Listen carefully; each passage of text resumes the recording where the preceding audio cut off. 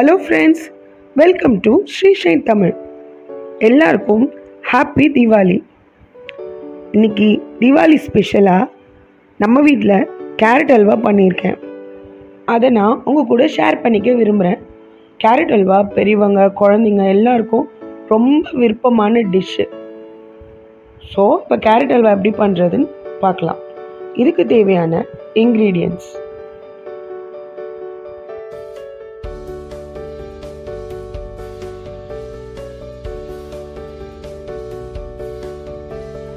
First நம்ம stove on பண்ணி ஒரு பேன் வச்சு அதில் கொஞ்சமாக கீ சேர்த்துக்கிறோம்.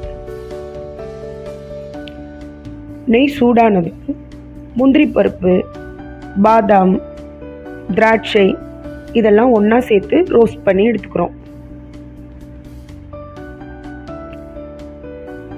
ஏன் இதை முன்னாடி ரோஸ்ட் பண்ணிடுறோம் அப்படின்னா ஒரே பாத்திரத்தில் உங்களுக்கு ஹல்வா பண்ணி முடிச்சிடலாம்.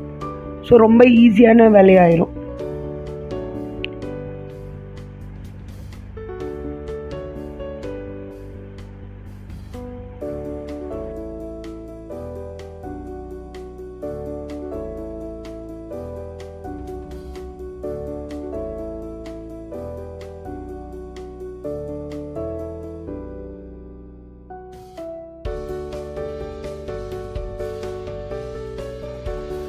நல்லா ரோஸ்ட் ஆனதும் இதை தனியாக ஒரு பவுலில் ட்ரான்ஸ்ஃபர் பண்ணிடுங்க. இதுக்கப்புறம் அதே பேனில் இன்னும் கொஞ்சம் நெய் சேர்த்துக்கோங்க. நெய் சேர்த்துட்டு அரை கிலோ துருவின கேரட் எடுத்து அதில் ஆட் பண்ணுறோம் ஆட் பண்ணி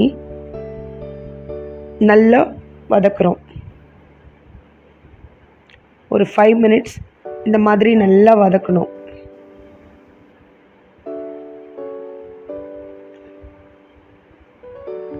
கொஞ்சம் அந்த ரா ஸ்மெல் போகிற அளவுக்கு.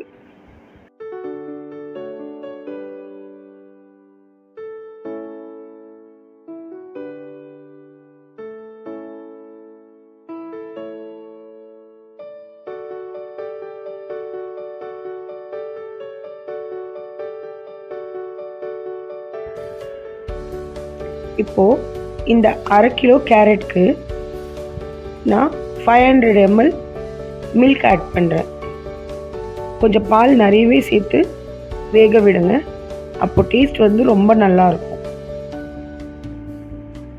ஸோ இப்போ இந்த பால் ட்ரை ஆகிற வரைக்கும் நம்ம வெயிட் பண்ணணும்.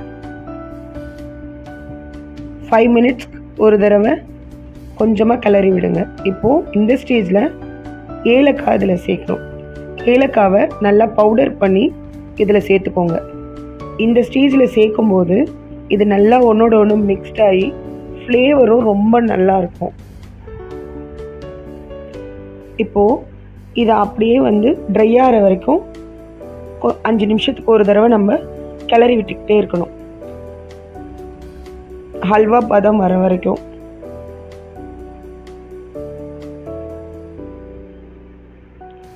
பாருங்கள் கொஞ்சம் கொஞ்சமாக பால் வந்து ட்ரை ஆகிட்டே வருது. கொஞ்சம் நல்லா வேக விட்டால் தான் கேரட்டில் இருக்க அந்த ரா ஸ்மெல்லெல்லாம் போயிட்டு ரொம்ப டேஸ்டியாக ஹல்வா கிடைக்கும்.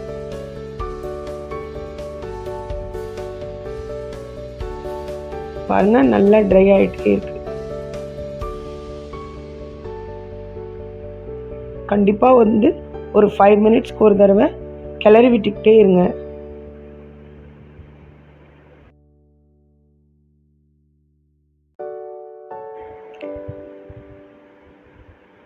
இந்த ஸ்டேஜில் ஒரு பிஞ்ச் சால்ட் ஆட் பண்ணிக்கோங்க.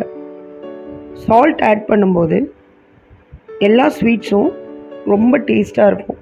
எல்லா ஸ்வீட்ஸ்க்குமே ஒரு பிஞ்ச் சால்ட் ஆட் பண்ணுங்கள் இப்போது சுகர் ஆட் பண்ணுறோம் இரநூத்தி ஐம்பது கிராம் சுகர் நம்ம சேர்த்துருக்கோம் இதில். உங்களுக்கு சுகர் வத்தலை டேஸ்ட்டு வந்து கம்மியாக இருக்குன்னு நினச்சிங்கன்னா இன்னும் கொஞ்சம் சுகர் ஆட் பண்ணிக்கலாம். ஆனால் இதுவே கரெக்டாக இருக்குங்க. ஸோ இப்போது சர்க்கரை போட்டோன்னே நெல்லை மெல்ட் ஆக ஆரம்பிக்கும்.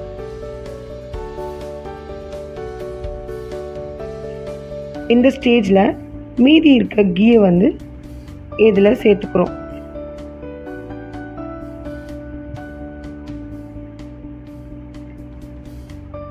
இப்போ நல்லா மிக்ஸ் பண்ணிட்டு இது இன்னும் கொஞ்சம் ட்ரை ஆகணும். இப்போது ரோஸ்ட் பண்ணி வச்சுருந்த நட்ஸ் கிரேப்ஸ் அதெல்லாம் சேர்த்து ஆட் பண்ணிடுறோம். ஸோ இப்போ அதை நல்லா மிக்ஸ் பண்ணுங்கள் நல்ல ஸ்மெல் வருது. ரொம்ப டேஸ்டியான கேரட் அல்வா ரெடி ஆயிடுச்சு ஸோ இப்போ நம்ம கேரட் அல்வாவை டேஸ்ட் பண்ண போகிறோம் சுவையான கேரட் அல்வா ரெடி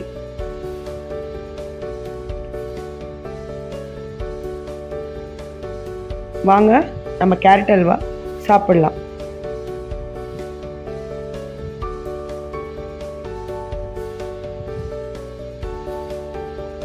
இந்த வீடியோ உங்களுக்கு பிடிச்சிருந்தா லைக் பண்ணுங்கள் ஷேர் பண்ணுங்கள் கமெண்ட் பண்ணுங்கள் மறக்காமல் சப்ஸ்கிரைப் பண்ணுங்கள் பெல் பட்டனையும் கிளிக் பண்ணிவிடுங்க சமைத்து பாருங்கள் ருசித்து பாருங்கள். நன்றி.